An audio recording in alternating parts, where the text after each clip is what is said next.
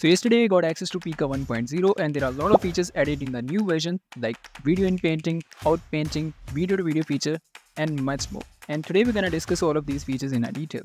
So without any further ado, let's dive in. Okay, so you guys need to go to the pika.art to access the new Pika Labs website. And this is the website. This is very simple and straightforward interface. And these are the few videos from the other people that have generated and these are the few videos that I generated. Now before moving forward, do you know that you guys can purchase the genuine Windows 11 Pro right now for just $13 instead of $200. And this is possible because of our today's sponsor, KeyFans. KeysFan is an online website where you can purchase the premium software keys, Windows keys, and even gaming keys at ultra low prices.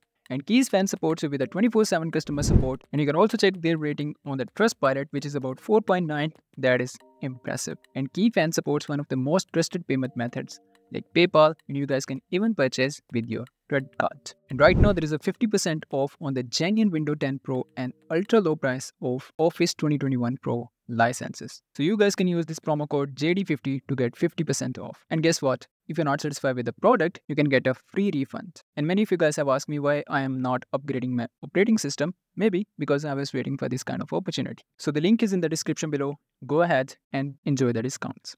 Now let's get back to our video. So first of all, we're gonna try its text to video. Uh, so in the prompt bar, I'm gonna type a cinematic shot of a Viking in aggression realistic. So next we have the option to select the aspect ratio and you guys can even control the frame rate. So we have 24 frames per second maximum.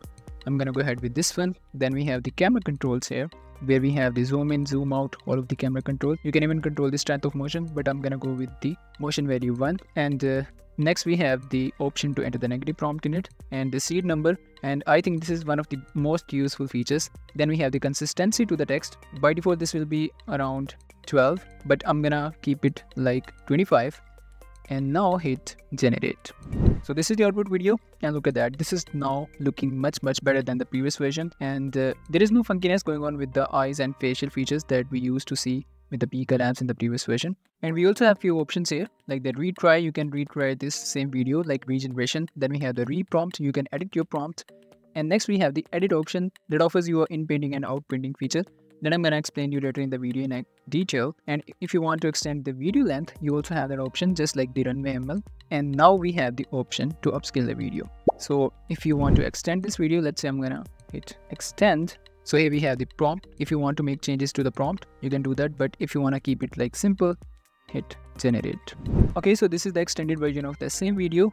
And look at that, this is now second, 7 seconds long but when it added more seconds in it you can see the things starts to get messed up. This is not looking as good as the initial frames. So we have one more built-in useful option that is upscaling the video. So we're gonna try its video upscaler. And for that you just have to click on this upscale button.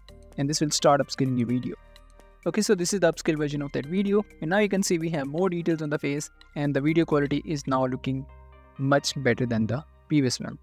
Now let's try its image to video and to use the image to video option you have to click on this attachment image or video.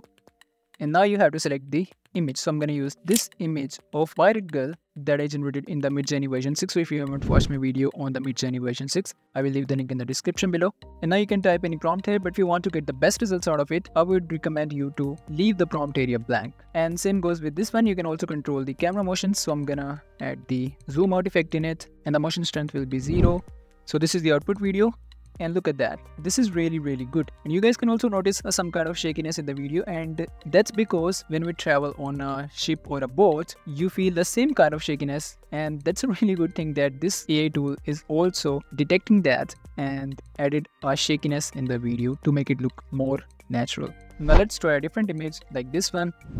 And this is the output video. Just look at that and this image is also generated inside of the Midjourney version 6 and the output is in front of you.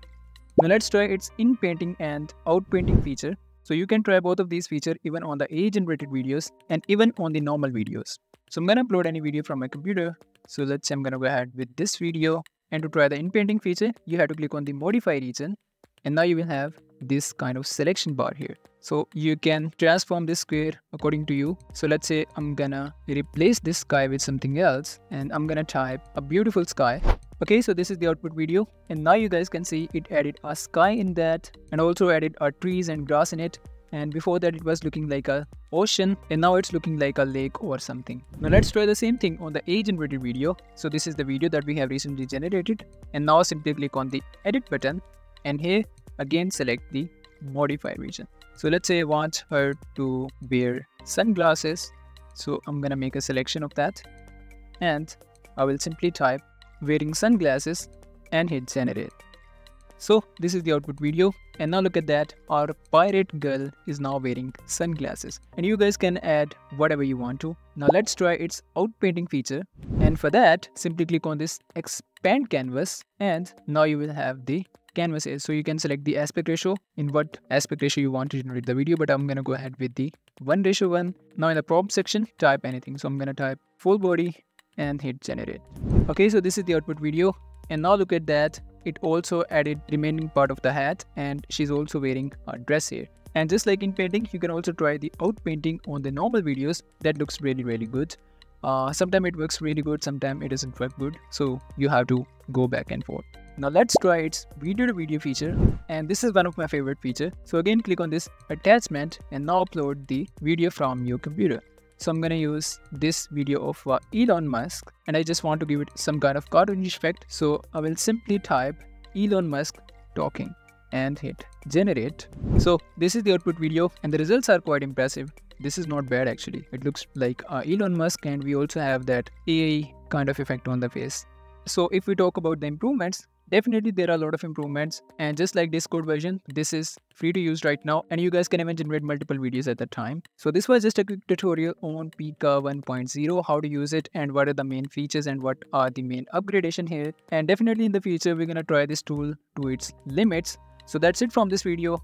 I hope you guys learned something new and if you guys did, give it a thumbs up and I'll see you in the next one.